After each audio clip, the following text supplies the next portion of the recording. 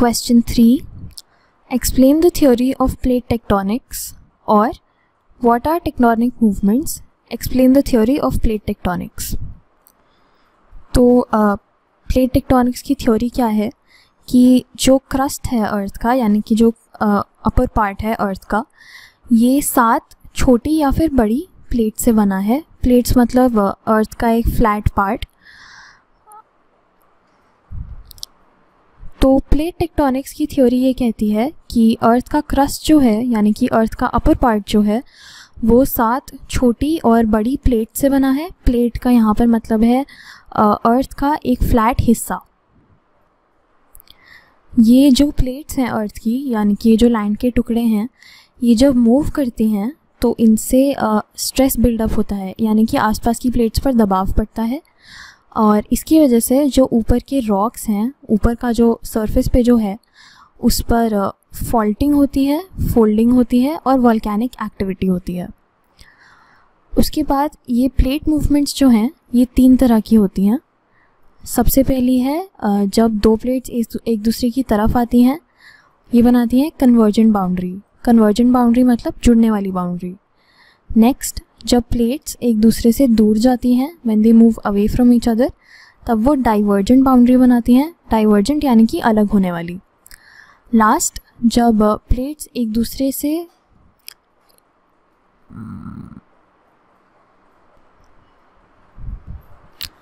Last जब plates जो हैं वो एक दूसरे के साइड से निकल जाती हैं, यानी कि दे मूव हॉरिजॉन्टली पास्ट तब वो ट्रांसफॉर्म बाउंड्री बनाती हैं।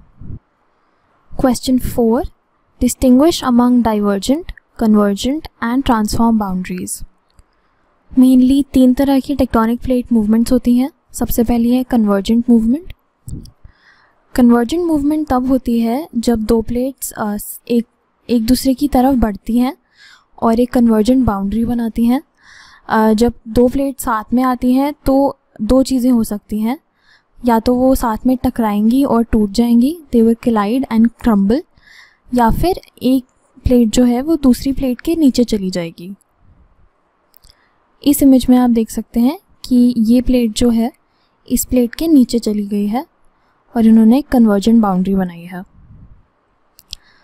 सेकेंड टाइप ऑफ़ मूवमेंट है डाइवर्जेंट मूवमेंट जब दो प्लेट्स एक दूसरे से अलग हो जाती हैं, दूर जाती हैं तो वो डाइवर्जेंट बाउंड्री बनाती हैं। जब इस तरह की मूवमेंट होती है, तब या तो एक नया क्रस्ट बनता है, या फिर सी फ्लोर जो है, वो एक्सपैंड हो जाता है स्प्रेड हो जाता है। लास्ट जो थर्ड टाइप की मूवमेंट है, वो है ट्रांसफॉर्म मूवमेंट ट्रांसफॉर्म मूवमेंट तब होती है जब दो प्लेट्स एक दूसरे के साइड से गुजर जाती हैं। तब वो ट्रांसफॉर्म बाउंड्री बना इसका मतलब ये है कि कोई जो नए फीचर्स हैं, वो दो प्लेट्स के जुड़ने से या फिर अलग होने से नहीं बनते। बहुत ज़्यादा मेजर चेंज नहीं आता है जहाँ पर ट्रांसफॉर्म मूवमेंट होती है। वहाँ के फीचर्स बस थोड़े से बदल जाते हैं, कोई मेजर चेंज नहीं आता। So when two plates slide past each other यानी कि जब दो प्लेट्स जो हैं वो आसपास से गुजरती हैं तो एक टेयर फॉल्ट बनता है यानी कि एक फ्रैक्चर बनता है। Question five how do the Himalayas play a vital role in the economic and cultural development of India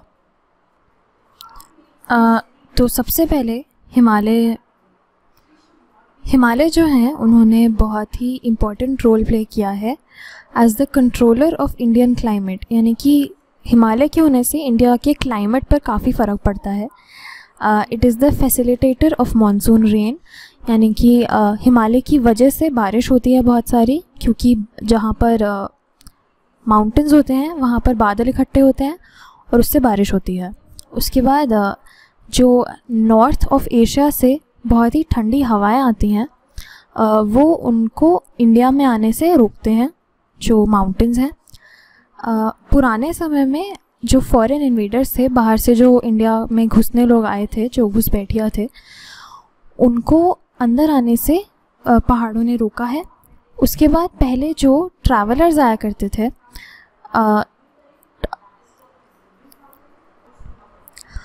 आखिर में जो एंशंट ट्रैवलर्स इंडिया आया करते थे, वो माउंटेन में पासिस के थ्रू आते थे। अब पासिस क्या होते हैं?